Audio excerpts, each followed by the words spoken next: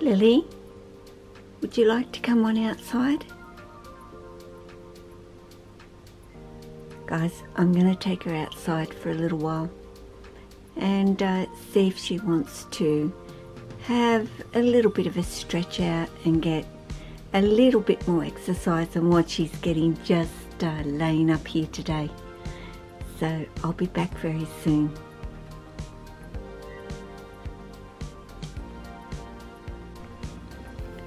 Okay, here we go. Very willing to come down um, and not, sorry, I'm just going to grab it with a little bit more of my hand than what I've got it with right, right now.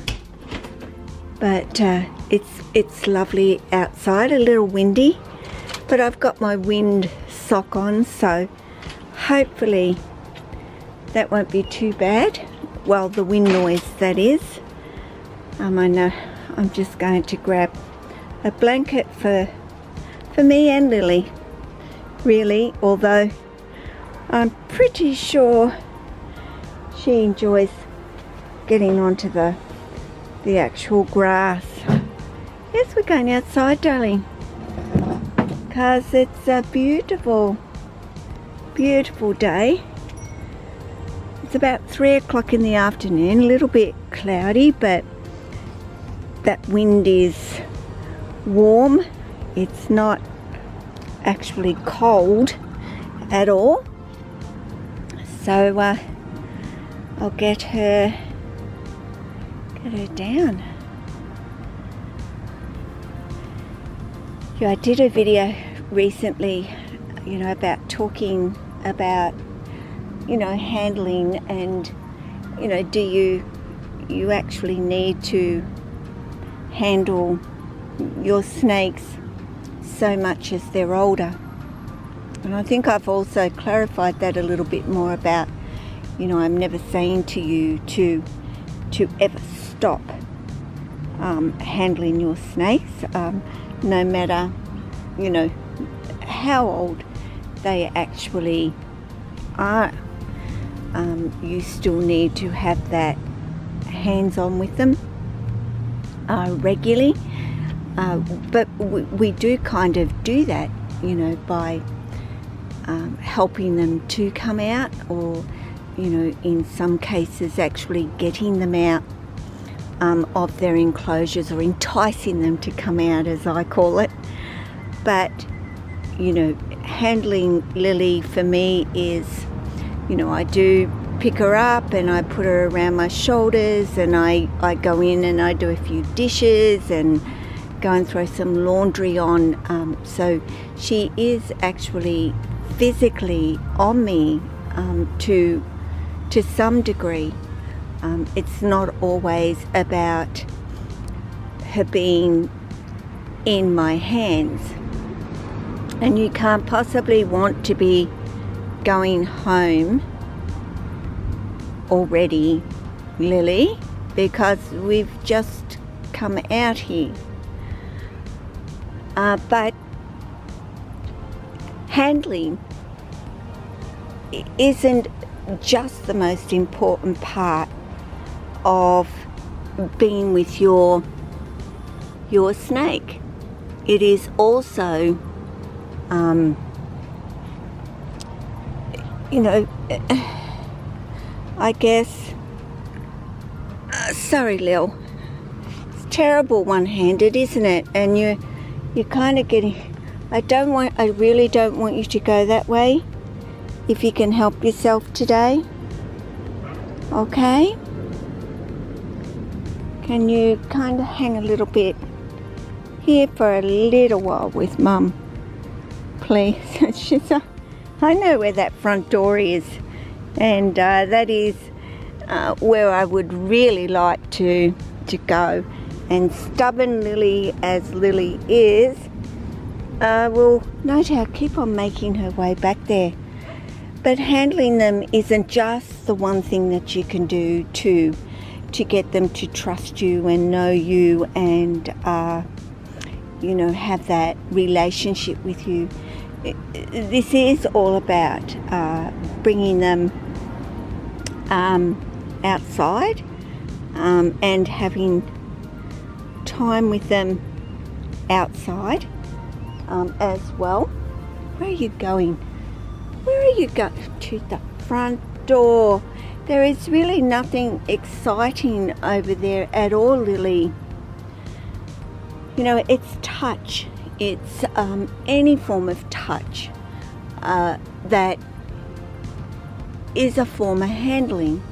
Um, you know, I, I talk about opening up their door and putting your hand into I see you under there. I do I do. You don't want to go all the way in there sweetie. Can you please swing yourself I'm not going to lift you. I'm just going to swing you back in this direction. Okay? Yeah right. How long that lasts I don't know. But yeah, opening up their door. And remembering to do that regularly um, and putting your hand in and adjusting things and moving things um, even if you're not moving it in in that way just moving it over there and then putting it back where it originally was it very much gets them used to that interaction between the both of you. Um, your smell, you're actually putting your scent um, into their enclosure and onto some of their things.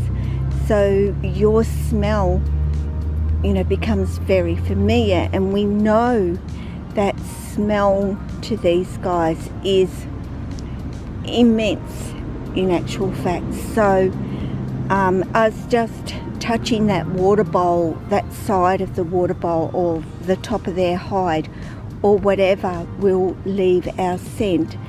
And we are not a predator. And this is certainly how they they know us when we open up the door. I know that smell and I know who that smell is actually connected to. Um, you know, outside there's so many different sights and sound, isn't there, Lily? Hey, and um, you you do like it outside. I know that you do. Uh, she's had a pretty lazy day, just sort of sitting inside, and and so have I. Actually, just been laying there watching some some movies on Netflix today and also been catching up with some some friends on YouTube. Today was going to be a chill day and uh, just lay on the couch and, and catch some movies and uh, watch a few things that I'm I've been interested in and don't get to watch very often.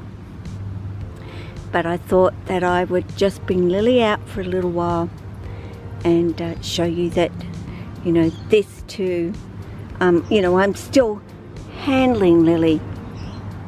I am just not um, so much um, you're stubborn today you are being so stubborn today. Are you? Hey for mum? Hey?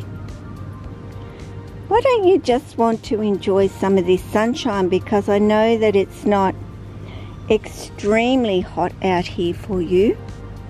It is actually quite pleasant um, at the moment.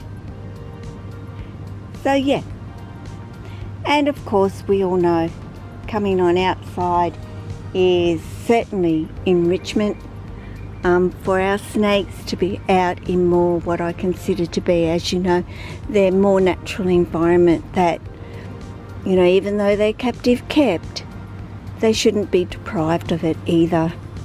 And that is why I like to to bring them outside um, when I can and you know as as often as I'm able to actually do it. But You know, Lily seems pretty intent on home, homeward bound she is um, at the moment. I would like her to use the toilet, which it looks like, as you can see, uh, she is going to do. Hopefully, for me, will certainly save any mess, you know, in the home. And somebody asks me, how do you actually toilet or potty train them inside your home? And uh, that is a little bit more difficult a task. Um, you know, of course, getting them and bringing them outside is a much better way um, for them to get to know, you know, going to the toilet inside, I have to be vigilant and I have to take the cues from them and their actions. And I know when they need to go to the toilet by what they're doing, which is pretty much stretching themselves out um, and then stopping. And it is almost like they are concentrating um, on what they're doing, and I very quickly um, then will grab a puppy pad and flip it up under them and you know they know then to go to the the toilet and I've um, you know more often than not I'm able to actually bring them outside. Sometimes I can't. So puppy pads are brilliant for inside the home but I'm certainly glad that Lily has made it outside today for me and uh, you know, I knew she was getting pretty close to um, needing um, the bathroom. I've just lifted her tail out so she doesn't, although they tend to keep their tail up and over so they're not running their tail through it. You know, they don't like to do that. But anyway, um, she's done her business and I'm not going to keep this video going forever.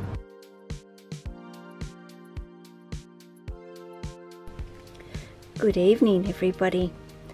Well, hmm, I, I don't know how to explain this. I'll do the best I can. Oh, well, I do know how to explain it. Lily's been out since early this morning. Well, not early, but early, yes. Um, I actually took her outside uh, at some stage in the afternoon, later in the afternoon, because I knew that she would be looking at needing the toilet. Uh, then she came back inside and I allowed her to go back up to her hangout spot. But I was going out for tea and uh, so of course I did not go out until 5.30. So Lily has been out, you could say, since mm, 8 o'clock or so this morning. And uh, plenty of time out, 5.30. I said to her, you, you actually do need to go back home because I'm going out, Lily. Uh, and she quite happily, uh, of course, went home. And I knew there is no way that Lily is going to be satisfied with that time out. Lily is very much used to not going back home until at least 8.39 o'clock, even later at night. So of course I've just got home and it's almost 8 o'clock which would be her normal time really where I could contemplate putting her back um, back home but here she was as you saw at her door saying Mm, let me out. I haven't had my full time out today, Mum. So naturally, of course, Mum will open the door and let her continue to have a time out.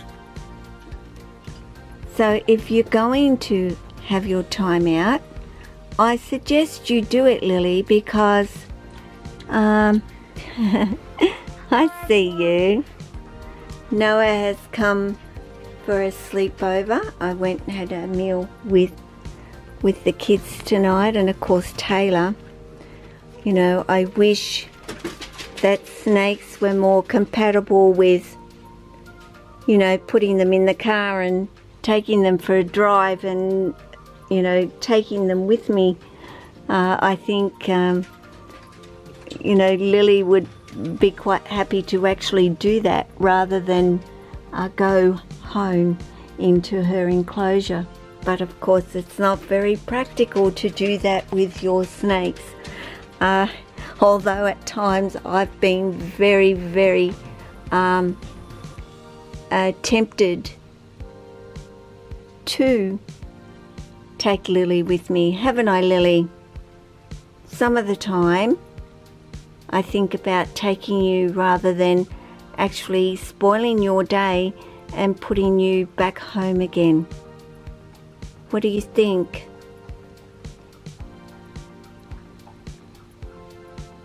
You're coming You're coming over? Hey? You actually coming over to say hello? You're not in a rush to go up top. Hey?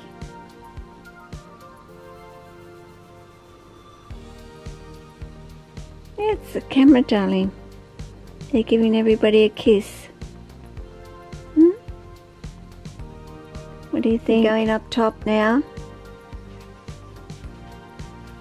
Was that just the little um, thank yous as in thank you for letting me back out again mum and now I'll will see you later. I think that was a little bit of what it was all about for and Lily. I had finished the video of her today which you are going to see and this is going to be the end of the video. Actually instead of the other video if that makes sense to you. But uh, it's 8 o'clock at night and uh, you'll know why Lily is kind of come back out of her enclosure again. So guys now guys take care of yourself your family your friends your snakes and all your animals. Ciao